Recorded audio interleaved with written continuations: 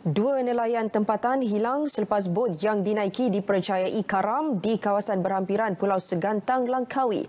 Bot yang dinaiki mangsa Zainul Saleh 39 tahun dan Muhammad Isa Muhammad 50 tahun dilaporkan keluar menangkap ikan kira-kira pukul 6 petang Sabtu lalu.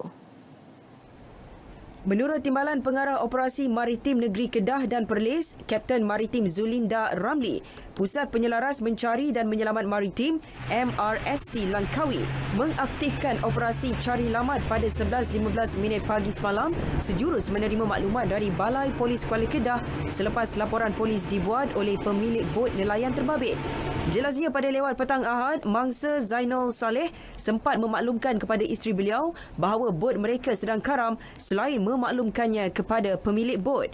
Namun mangsa gagal dihubungi kira-kira 8.30 minit malam. Kapten Maritim Zulinda berkata sektor pencarian dilakukan seluas 202 batu nautika melibatkan enam aset maritim Malaysia dan dua buah bot dari Tentera Laut Diraja Malaysia TLDM dan Pasukan Polis Marin PPM.